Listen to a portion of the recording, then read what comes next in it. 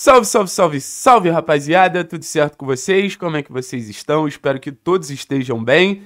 Vamos falar de Atlético, vamos falar de Furacão, porque o jogo contra o Bragantino, eu acho que ele é um jogo que gera algumas boas reflexões. Eu acho que quando o jogo ele te traz alguma situação para você pensar, para você refletir, o jogo de alguma maneira já valeu a pena. Foi um jogo ruim, uma atuação bem ruim do Atlético, me espantou a falta de capacidade de levar perigo que o Atlético teve durante os 90 minutos.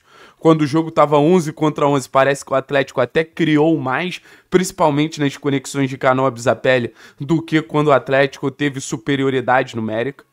E criou uma sensação ali de o Atlético ainda está muito distante de encontrar o seu time ideal.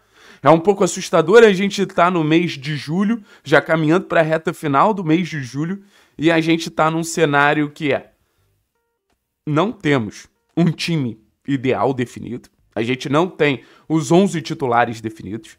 E tá difícil encontrar esses 11 titulares. E a gente tá no início de, do trabalho de um treinador. E o grande ponto é que uma coisa está diretamente ligada à outra, né? O fato de estar tá muito no início do trabalho do Varini é até difícil da gente cobrar algo em relação a ele definir os 11 titulares. É até difícil da gente cobrar algo em relação a ele escolher. Esse é o melhor time do Atlético. Então, eu acho que o Varini ele tá no momento sensível para escalar os 11 melhores. Porque acho que cada torcedor tem uma teoria dentro de, de, de um limite ali, né? Uns querem Canob Julimar, outros defendem a presença do Nicão, outros querem a presença do Zapelli. E o Varini, querendo ou não, ele tem os treinos, óbvio. Ele vai se nortear pelos treinos, é, é, é inegável.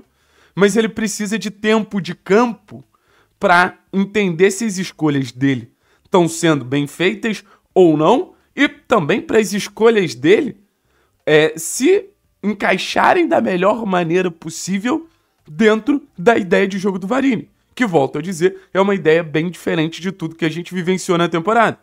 Então o Varini ele tá numa situação, tá numa bifurcação que é ou eu aposto num time defino 11 e aposto nesse time, ou eu mudo, mudo, mudo, mudo, mudo, mudo, não dou uma cara pro time, mas tento encontrar o time ideal. Porque, por exemplo, se ele aposta em 11, tem uma situação que, pô, pra mim chama muito atenção, que é a lateral direita. A lateral direita do Atlético, ele é pra ele apostar, apostar, apostar, apostar, apostar, apostar no Léo Godoy, até definir que, que o Léo Godoy não dá certo, ou até o Léo Godoy engrenar, ou por todas as atuações que a gente vem acompanhando do Léo Godoy. Vale a pena, por exemplo, o jogo contra o Cerro, que é um jogo decisivo, que é um jogo muito importante, ele entrar com o Coelho na lateral direita para pelo menos ter uma presença ofensiva com mais capacidade de gerar algum perigo. Vocês entendem a situação? Como é difícil de você entender? Aí se você abandona o Godoy agora, também é muito difícil que ele consiga engrenar, é muito difícil você ter qualquer tipo de recuperação com o Godoy. É só um exemplo, na volância. A gente sabe que, que a maioria da torcida do Atlético não aguenta mais o Eric. Será que é a hora de você apostar no Filipinho? Ou você dar sequência pro Eric e pro Eric tentar é, chegar no melhor nível possível? Ou sequência pro Gabriel?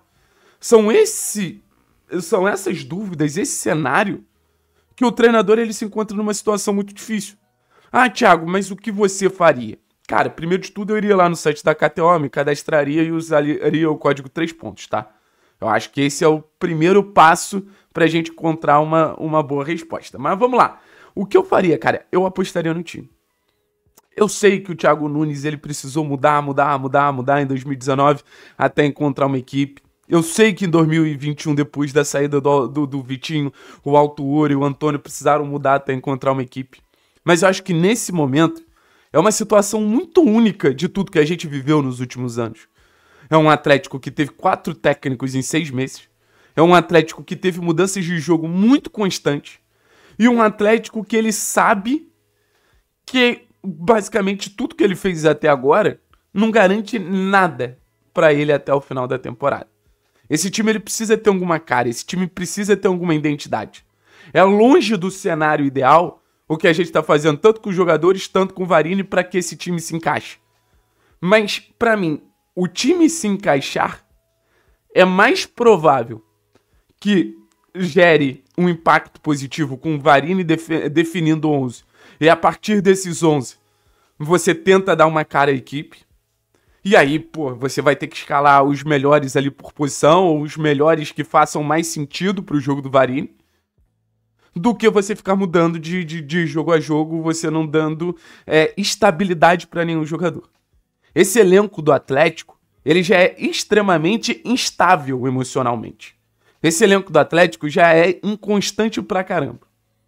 A partir do momento que você não dá um mínimo de segurança para os caras que garanta pelo menos a titularidade de algumas peças, pelo menos, esses caras eles vão continuar tremendo. No final das contas, esse elenco passou por tantas mudanças, passou por tantas incertezas, que eu acho que hoje dá para falar com tranquilidade que o elenco do Atlético, pelo menos nesse momento, se tornou um elenco bundão.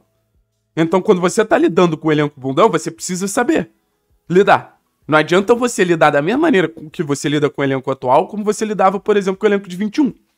O primeiro passo para mim é esse, mental. E o segundo passo é, cara, o time do Atlético titular, ele não é tão difícil de você escalar. Vamos pensar aqui nos titulares absolutos. Léo Link, titular absoluto. Vamos pensar no cenário ideal é, dentro de, porra, dentro de uma obviedade, né? O Thiago, para mim, é titular absoluto. Kaique, para mim, é titular absoluto. Sabe? Aí você tem na esquerda o Esquivel, é titular absoluto, o Eric Fernandinho e o Canóbio. Eu boto esses como titulares absolutos. Aí na direita, cara, mesmo com todas as situações, eu não acredito que o Madison consiga barrar o Léo Godoy. Não acredito. Eu acho que no meio-campo você tem ali o Zapelli como uma peça mais indicada para ser essa, essa peça cerebral, essa peça que, que, que, que comanda as ações do meio-campo, sabe? E é, na outra ponta, na ponta direita, eu tô quase achando que vai ter que ser o Nicão. A ponta direita do Atlético não tem nenhum ponta direita. Quem joga por ali acaba atuando menos. O Nicão sabe jogar por dentro, deixa o corredor pro Godoy ou pro Madison. Então, acho que na ponta direita, assim, não seria a minha escalação. Eu acho muito difícil você tirar o Julimar do time, mas eu acho que por uma questão de posicionamento.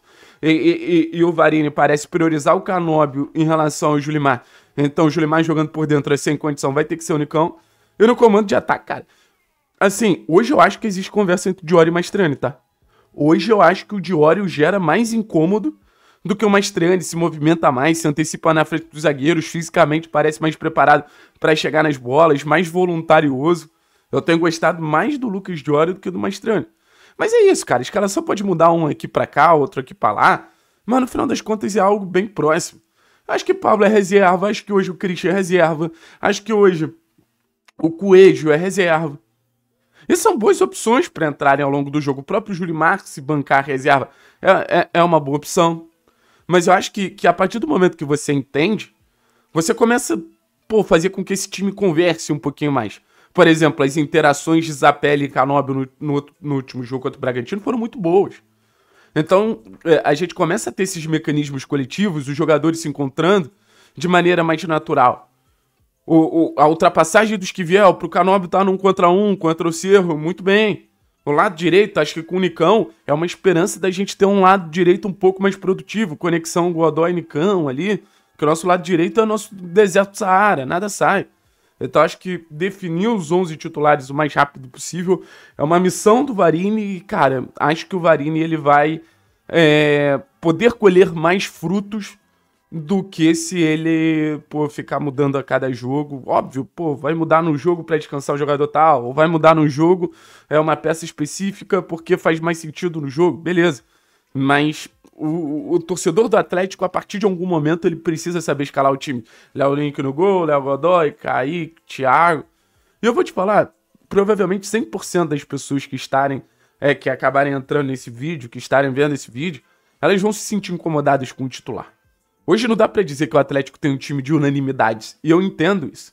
O time titular do Atlético, ele, para mim, no começo da temporada, ele tinha uma escalação óbvia, que era Bento, Léo Godoy, era Thiago Heleno, Gamarra e o Lucas Esquivel, Eric Fernandinho, Christian Zapelli e Canob Maestriani. Mas, pô, o Léo Godoy do jeito que tá, o Eric do jeito que tá. É, pô, parece que o Thiago Heleno não vai abrir mão de jogar pela esquerda para você poder ter o Gamarra ali. Aí no, no meio para frente, os meios também não se entenderam. Então, uma temporada de muita instabilidade. Isso passa por quatro treinadores em seis meses. Enfim, rapaz, é isso. Queria trocar essa ideia com vocês. Espero que tenham curtido, espero que tenham gostado. Acho que a gente precisava trazer essas reflexões, precisava trazer esse papo, porque acho que é um papo é, para a sequência da temporada, né? Para tentar ver se o Atlético tem algum ajuste aí na, até a sequência da temporada e, e, e, tentar diminuir as incertezas e aumentar as respostas. Mesmo que em algum momento o time oscile, acho que se você tiver 11 ali, as coisas elas estão mais, estão mais próximas de um mundo que, que o Atlético consiga ser competitivo no final das contas, né? Tamo juntos, é nóis. Deixa sua escalação ideal aqui. Quero saber de vocês.